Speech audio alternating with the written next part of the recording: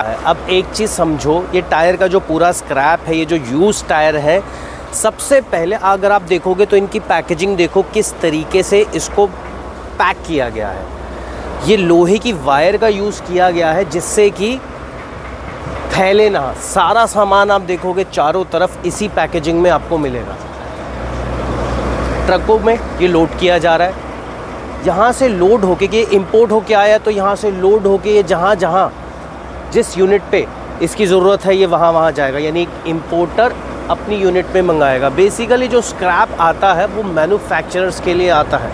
Manufacturers raw material use करते हैं और उसके बाद उससे फिनिश गुड्स तैयार करते हैं। तो आप भी स्क्रैप को इंपोर्ट करा सकते हैं। ये पूरा टायर का स्क्रैप है। सारी फैसिलिटी आपको इस कंटेनर फ्रेट स्टेशन के अंदर मिल जाएगी। सो so, स्टूडेंट्स अब आपके सामने है ये फ्लैट ट्रैक कार्गो मैंने आपको क्लास में बताया था कि फ्लैट ट्रैक कार्गो क्या होता है। सबसे पहली चीज़ अगर हमें कोई ओवर साइज़ प्रोडक्ट चाहे वो मशीनरी हो चाहे वो पाइप्स हो, चाहे वो बॉयलर्स हो, अगर हमें भेजने हैं तो हम फ्लैट ट्रैक कार्गो का यूज़ कर सकते हैं। देख सकते हो इसके अंदर पूरे स्प्रिंग्स वगैरह की फैसिलिटी है। चारों तरफ़ से आप इसको बाँध भी सकते हो, अगर आपके बड़े बॉयलर पाइप्स या मशीनरी है। इसको ओ ओ जी भी बोलते हैं आउट ऑफ़ गेज भी इसको बोला जाता है। कोई बोले ओ ओ जी कार्गो या आउट ऑफ़ गेज कार्गो में हमें माल भेजना है तो आपको ये चाहिए होगा, यानी इट मीन्स वो फ्लैट ट्रैक कार्गो की बात कर रहा है। तो ये चीज़ ध्यान से समझिए कि अगर आप का प्रोडक्ट ओवर साइज़ या ओवर वेट है, चाहे बस भेजो क्रेन भेजो, वो सारी की सारी इसी के अंदर जाती है। जो आप देख रहे हो मेट्रो का कंस्ट्रक्शन चल रहा है मेट्रो के डब्बे कहाँ से आ रहे हैं और कैसे आते हैं, वो सारे के सारे फ्लैट ट्रैक में होके आते हैं। तो यानी ओवर साइज़ और ओवर वेट प्रोडक्ट भी आप इम्पोर्ट करवा सकते हो और एक्सपोर्ट कर सकते हो। अब ये सामने देखो कंटेनर की अनस्टफिंग कैसे की जा रही है? देखो, अंदर से माल आया हुआ है, माल से फॉक लिफ्ट पे कैसे उठाया और उसके बाद अब ये सारा का सारा माल यहाँ पे इकट्ठा किया जा रहा है और उसके बाद ये ट्रक में लोड होकर चला जाएगा। ये देखो।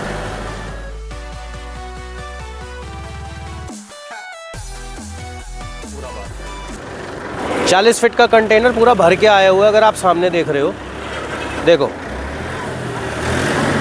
प्रॉपर सिस्टमैटिक तरीके से अनलोड किया जा रहा है और पूरी वायरिंग का यूज़ किया गया है पैकेजिंग करने के लिए। देखिए।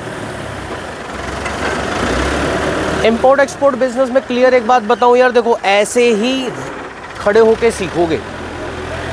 स्ट्रेट फॉरवर्ड है कि भाई, जब तक चीज़ सामने दिखेगी नहीं, तब तक समझ नहीं आएगी। अगर मैं आपको मैनुअल दे दूँ गाड़ी चलाने का तो गाड़ी नहीं सीख पाओगे।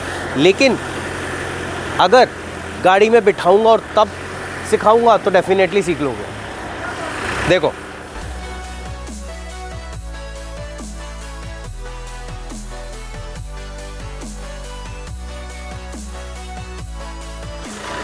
आइए, अब आगे चलते हैं।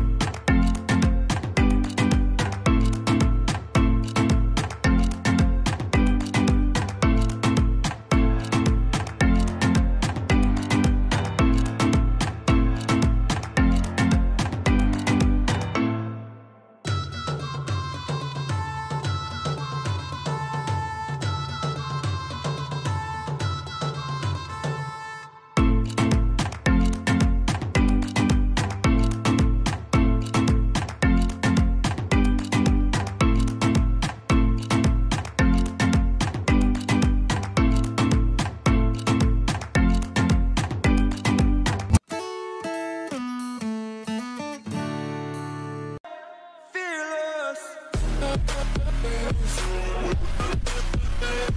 be right back.